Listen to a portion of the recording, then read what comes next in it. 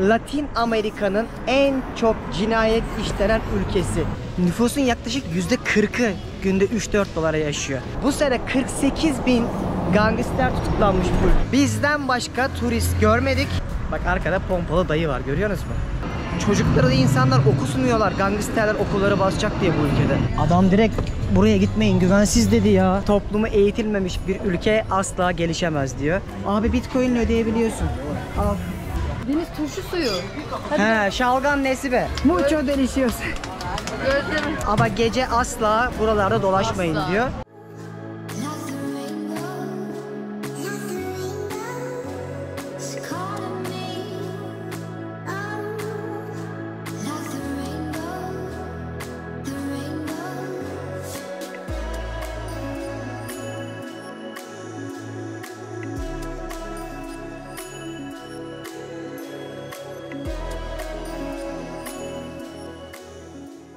Herkese merhabalar. Ben Deniz Pehlivan. Sizlere şu anda 96. ülkem El Salvador ülkesinin başkenti San Salvador'dan sesleniyorum.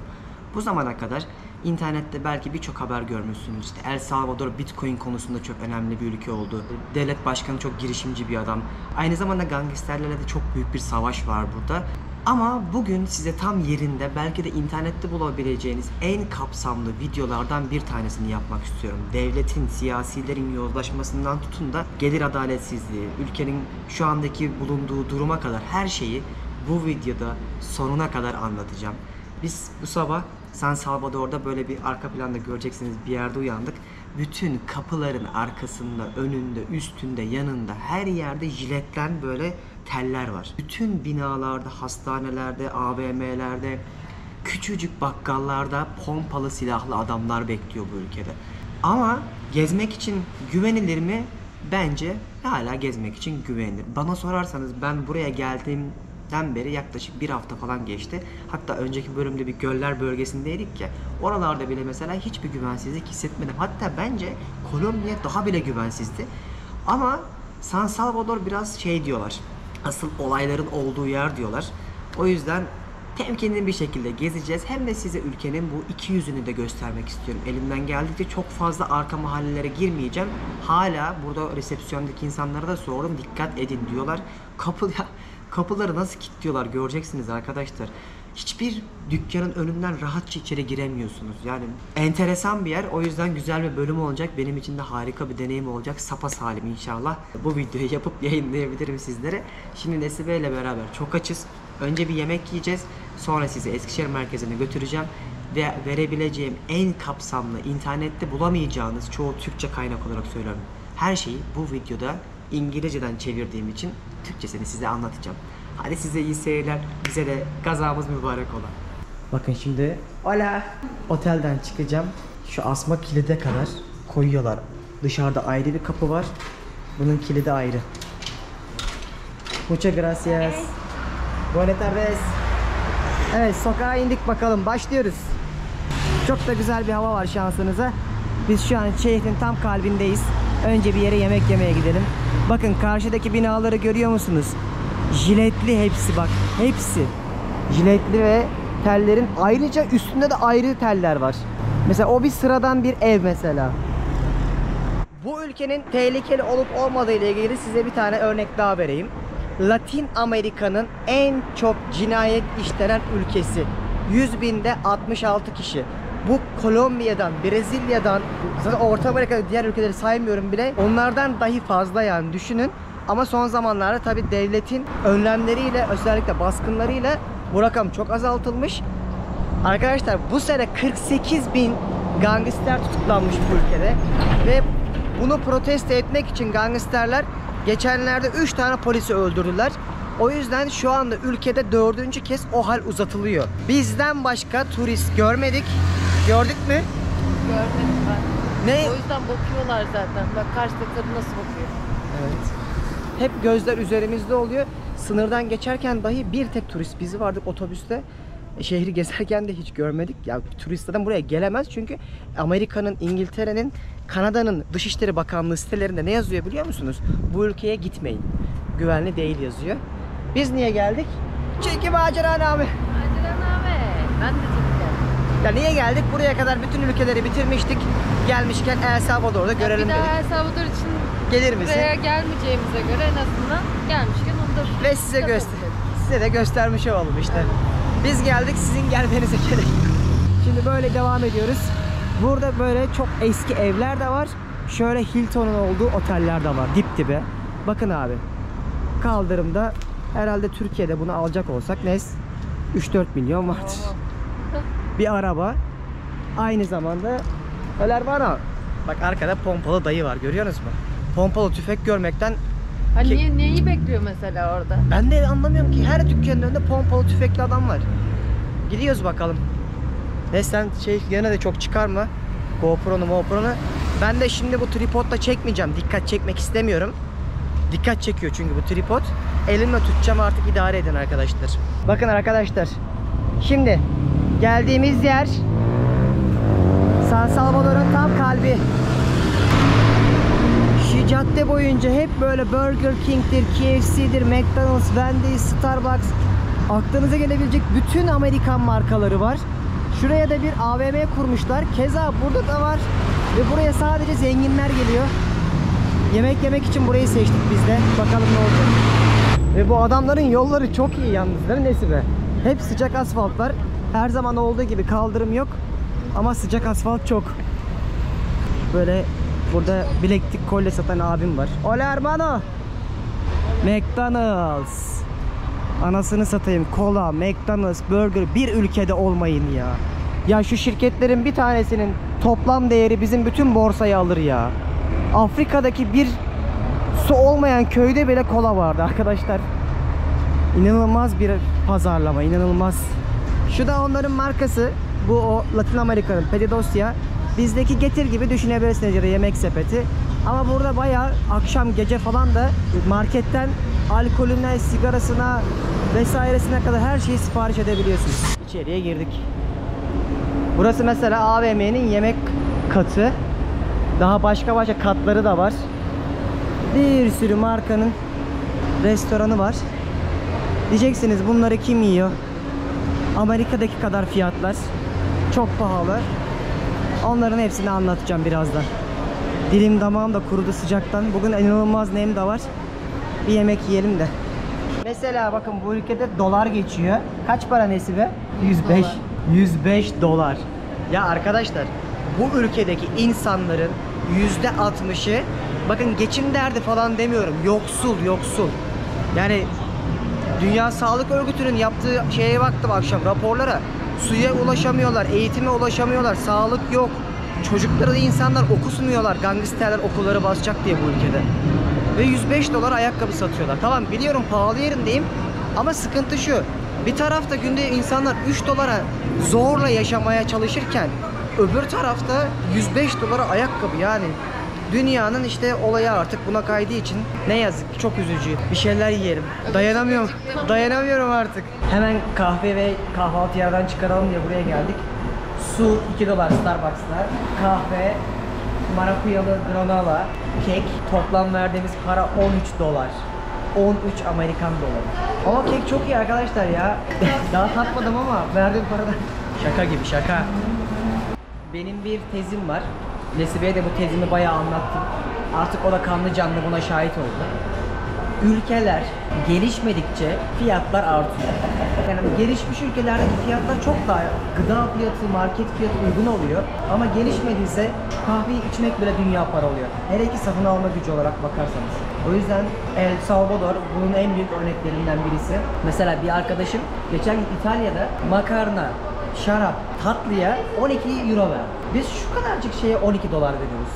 Ve Roma gibi bir yer. He? Çok güzel örnek oldu. Örneği tam yerinde verdim. Hadi enerji alıyoruz biz. Güzelmiş bu arada şaka yapmadım ya. Ah menemenim benim. Menemen yerime kekliyorum. Uber söyledik. 687 776 numarası da. Hadi konumdayım. P98 18 72.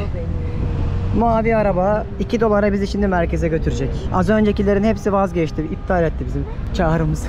Kardeşim konum burada görüyorum ben seni. Gel hadi artık. Aa geçemedi aradan. Nereden bineceğiz buraya ha? Buradanmış. Hola hermano. Todo bien, Denis? Centro. Poquito español. Turistica. sohbet devam etmek ister misin? Yani por favor. Şey, başka. Un, dos, tres. Mucho. Finito. Şimdi şehrin merkezine gidiyoruz.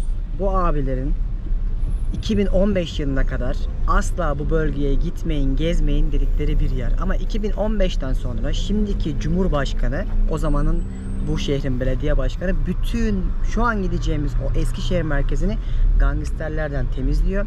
Şehri yeniden restore ediyorlar ve hani Old Town böyle Eskişehir merkezi olur ya öyle bir yer haline geliyor. Zaten San Salvador'da görülecek en önemli yer orası. Hani başka da çok bir şey yok. Ama gezerken tabii yine anlatmaya çalışacağım size. Aslında biraz burada lüksü gösterdim size. Şimdi gideceğimiz yerde de normal halkın takıldığı yerleri göstereceğim. Hadi bakalım gidiyoruz.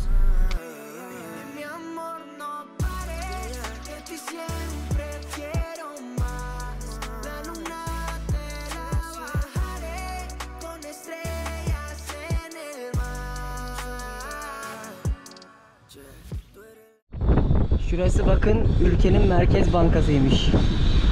Banco Central de Reserva yazıyor. Ve bu ülkenin şu an geçen sene 100 milyon dolar, dolarlık bitcoin'i vardı. Şimdi bitcoin'in değeri düştüğü için 50'ye gerilemiş. 50 milyon dolara. Haberlerde hep çıkıyor ya. Ülke tamamen bitcoin aldı. Her yerde bitcoin kullanılıyor falan. Ben daha hiç bitcoin kullanılan bir yer görmedim. Sen Ne görmedim. Ben sürekli bakıyorum merak Yok. ediyorum çünkü. Hani olsa çekerdik zaten. Birazcık şey olmuş, pazarlama olmuş gibi ama belki biz görmedik hani yan- yanılıyor da olabiliriz. Bitcoin onlar için çok büyük yatırım, devlet bunu çok yatırım yapıyor. Dedim ya yenilikçi bir başkanları var. Ama biraz patladılar gibi oldu. 60 bin dolardan 20 bin dolara düşünce haliyle Merkez Bankası'nın rezervleri de erimiş oldu. Oldukça keşmekeş yerlere geldik.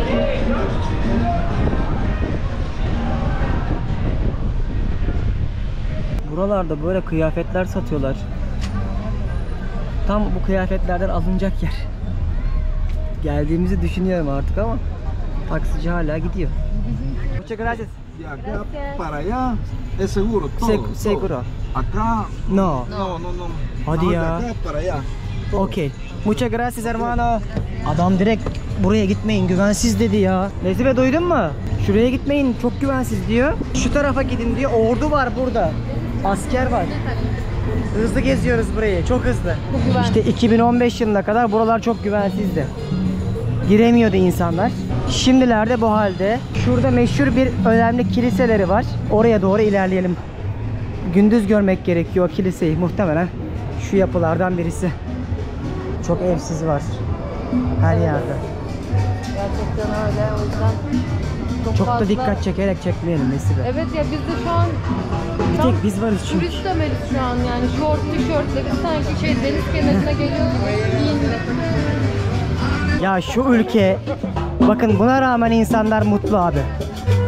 Yani rezillik, yoksulluk dünya kadar ama mutlular. Yani hemen şurada evsizler var her yerde. Önündeki parkta böyle hiçbir şey kafalarına takmıyorlar. İçiyorlar, müzik, dans. Anı yaşa.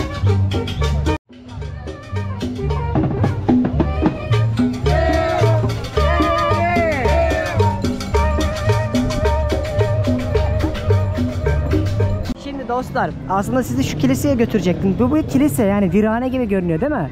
Ama hani bir laf vardır kitabın kapağına bakarak yargılamayın diye. İşte bu o kilisenin aslında en iyi örneklerinden bir tanesi. Dışı rezalet ama içi şu ön ve tepedeki camlar vitrayı olduğu için rengarenk olurmuş. Gün içinde görmek gerekirmiş ama kapalı. Hemen meydanda o dans edenlerin çoğu evsizlerdi. Böyle gelip gelip rahatsız ettiler. O yüzden oradan uzaklaştık. Bakın her yerde polisler var. Görüyor musunuz? Onlara yakın durmaya çalışıyoruz ama işin kötüsü de şu. Daha geçen günlerde işte 3 tane polisi öldürdü buradaki çete. Nesibe hadi gel. Kapalı.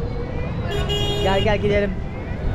Orta Amerika'nın en yoğun nüfusa sahip hatta kalabalık ülkesi El Salvador. 7 milyon kişi yaşıyor bu ülkede.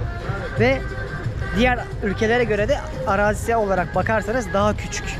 İnsanlar çocuklarını okula gönderemiyor bu ülkede kolay kolay çünkü gangsterleri okullara da bulaşmaya başlıyor. Özellikle kırsalda nüfusun %60'ı kırsalda yaşıyor. Ve %60'ından 70'inden fazla çocukların 6. sınıftan fazla okuyamıyorlar. Aileleri genelde onları kırsalda çalıştırmak için ve gangsterlere bulaşmasın diye evde tutmak için çabalıyorlarmış. Hatta şöyle bir bilgi daha okudum. Kırsallarda öğretmenler dahi çalışmak istemiyormuş. Öğretmen dahi hatta giderseniz bulamayabiliyormuşsunuz. Çünkü gangsterler insanların eğitim almasını istemiyormuş. Öldürüyorlarmış, yakalıyorlarmış öğretmenleri.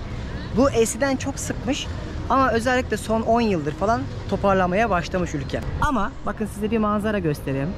De abi burası bir koca katedral değil mi? Bakın ne kadar heybetli, devasa. Ya katedralin önünde bile etrafını görüyorsunuz. Şu jilet tellerle kaplı. Yani bunu ilk defa görüyorum. Yani katedralin etrafını niye jiletlerle kaplarsın? Sanırım durumu daha iyi anlıyorsunuz. Nelson Mandela'nın çok güzel bir sözü var arkadaşlar. Toplumu eğitilmemiş bir ülke asla gelişemez diyor.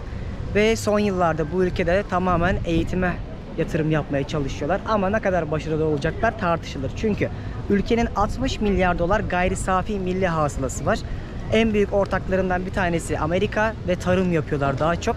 Şimdi kişi başı gelir 8500 dolar gibi değil mi? Ama hiç de öyle değil. Gelir adaletsizliği açısından dü- dünyadaki en üst sıralardaki bir ülke burası. Ne yazık ki. Aa üstünden geçti. Dur anlatacağım devamı. Geliyorlar. Esme dikkat et. Çarpacaklar. Un saludo. Gracias hermano. Bendito El Salvador, El Salvador. Aynen öyle. Of binlerce var. Tek turist biz olunca bize sardı. Allah Allah. Şimdi bu ülke yoksulluk ve gelir adaletsizliği açısından dünyanın en önde gelen ülkelerinden bir tanesi. İngilizce olarak zaten Google'a yazarsanız Poverty Country Rankings diye geliyor direkt. Kişi başı 3-4 dolar kazanıyorlar ve nüfusun yaklaşık %40'ı günde 3-4 dolara yaşıyor. Ama markete gidiyorsunuz bir şey alıyorsunuz. Hep dolar, 1 dolar, 2 dolar, 3 dolar. Muchas gracias hermano. Şöyle bir pazara girdik. Gezelim. Bu pazarlar her yerde var. Yani pan pazar gibi değil, sokaklara atılmış tezgahlar. Resmi büyük bir pazar değil yani. Şimdi bu ülkede bundan önce 4 tane başkan varmış çok önemli. Hepsi yolsuzluklardan dolayı yakalanmış. İlki tam yargılanacağı gün öldürülmüş. İki tanesi kaçmış, biri ölmüş. Kaçanlar da Nikaragua'ya kaçmış falan. Bir tanesi de hapse atılmış burada. Şimdiki başkana çok güveniyorlar. Bukele ismi. O yüzden diyorlar ki yolsuzluk yapma biz bir şekilde hayatımıza bakarız kafasındalar. Seven de var, sevmeyen de var. Şu rambutan kaç defa gösterdim size ama buralarda beğenmedik. Afrika'dakiler daha lezzetliydi. Çilek cenneti. Her yerde çilek satıyorlar da bu çilek burada erir bu sıcakta. Şu an hava 40 derece olabilir arkadaşlar. Saklanacak yer bulmaya çalışıyoruz. Velhasıl kelam arkadaşlarım. Nerede yolsuzluk özellikle siyasi yolsuzluk varsa o ülke gelişiyormuş gibi görünür de hiç gelişmez.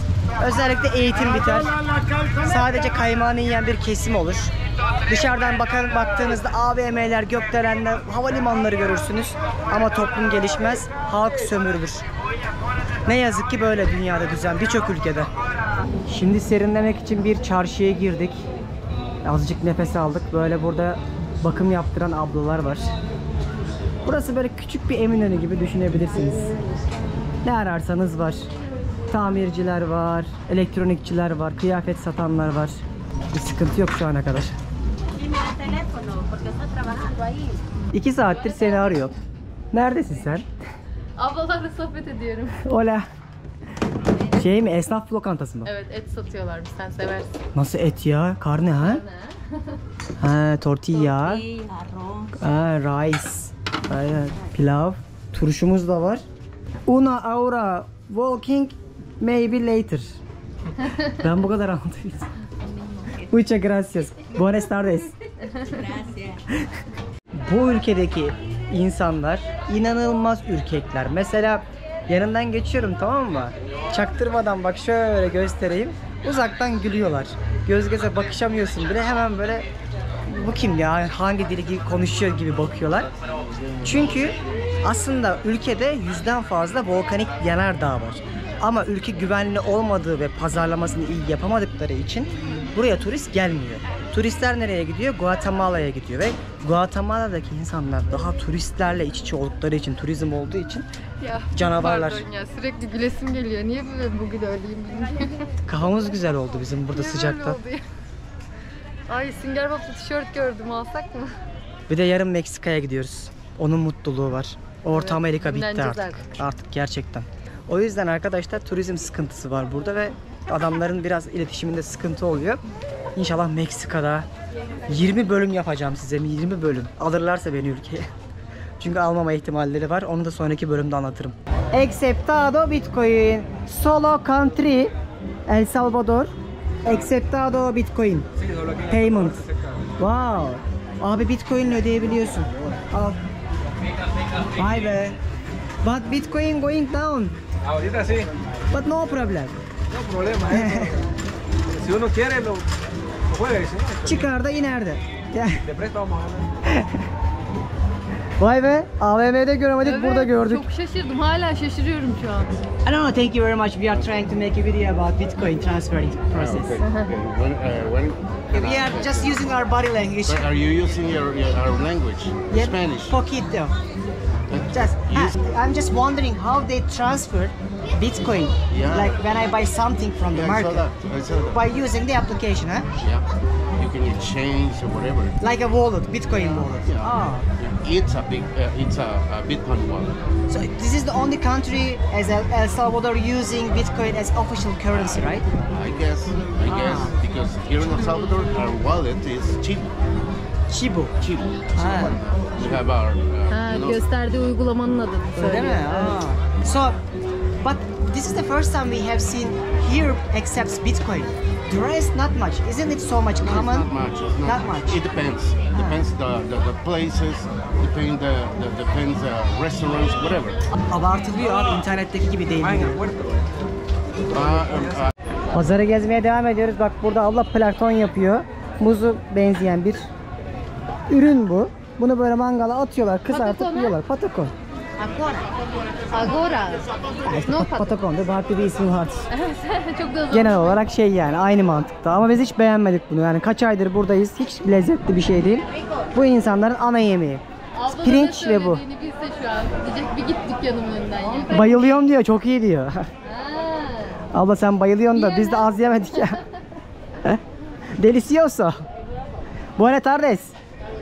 Yandık şöyle bir markete geldik. Ermano'dan ava aldık yarım dolara. Deniz turşu suyu. He şalgam nesi be? Aç da içelim önce. Nereden biliyorum? Belki çok iyi çıkacak. Kana kana. Pazarı gezmeye devam ediyoruz. Tortilla yapıyorlar. Hola. Tortilla. Si. ¿Cuánto cuesta una? Oo, Ben dolar. mucho, mucho caliente. Quarter. Aa, 16 tanesi 1 dolar, 4 tanesi çeyrek dolarmış. Evet çok uygun. Burada çatır çatır hızlı hızlı yapıyor ablalarım be. Mucho. Gözlerim. Burada da abi bir mangal yapıyor. Keşkek mi şu ya? ya yok Bize- ben. Keşke olsa ben öyle bir yumulurum ki şu an. ya yeni yaktı daha. Acaba ne yapacak? Şu fasulye eminim. Esto kahve, kafi. Ha ka Aa kofi, kahveymiş. O çıkarttı. Şurada da keşkek yapıyor. Muhtemelen şu muz yaprağına sarıyor. Ha. So you make this, this and barbecue. Tahmin ettiğimiz şey ya. Bunu bunun içine koyuyor, barbeküde pişiriyor. Evet, bütün ilgiler üzerimizde. Bizi gizli gizli çekip çekip gülüyorlar. Kim bilir ne diyorlar. Çünkü hiç turist yok. Ve TripAdvisor'da burayla ilgili bir şey yazıyor. Birkaç yabancı blogda da okudum. Gündüz gezin, özellikle cepçilere dikkat edin. Ama gece asla buralarda dolaşmayın Asla. diyor. Belli zaten yani burada gece dolaşılmaz. Şimdi yavaştan buradan çıkalım artık. Ha? Yani güneş geçme ölmeden çıkalım. Yani şurada benim şuram yandı zaten. Şurada bir Uber çağırıp merkeze geri döneriz. Bu insanlar pilav, patakon ve beans Bir neydi? şey fasulye. Fasulye. Fasulye yiyorlar ve Çiğdem.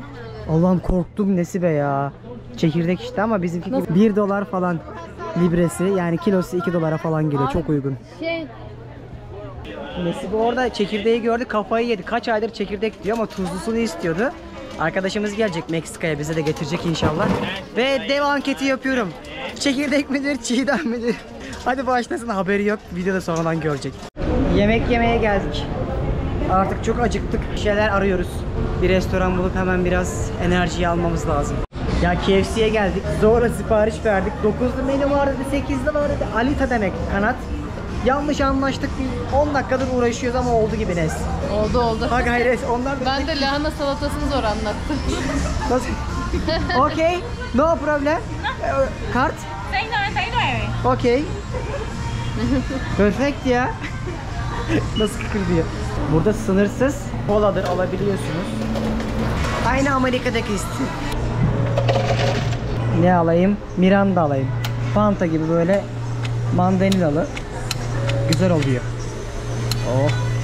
Al bakalım Nesko. Afiyet olsun. Bu kadar şey söyledik. Salata, patates, 9 tane kanat, sınırsız içecek 7 dolar sadece. Çok uygun. Kanada bak Nes. Yağlı yağlı. Bak yeni yaptıkları zaman güzel oluyor. Evet. Değil mi? Patates eski mesela. Aynen öyle. Lahana salatasına biraz böyle farklı bir sos koymuşlar gibi. O yüzden İlla latinleştirmişler mi? normalde yiyemem ama çok aç. Karnımız da doyduğuna göre artık otele dönüp çantalarımızı yapıp Meksika'ya gitmek için hazırlanıyoruz. Hazırlanabilirim. Hadi bakalım bizi alacaklar mı? Bir sürü haber duyuyoruz sınırlardan gelen. Burada ve Amerika'da haberler var. 9000 Türk'ün kaçak geçtiği söyleniyor. O yüzden Meksika'ya girişler çok zor diyorlar. Sonraki bölümde izlerseniz zaten göreceksiniz. Şimdiden kanala abone olup bildirimleri açmayı unutmayın. Çünkü 97. ülke Meksika'ya gidiyoruz. Hadi bakalım sonraki videoda görüşmek üzere. Güneş de ne güzel geldi ya. De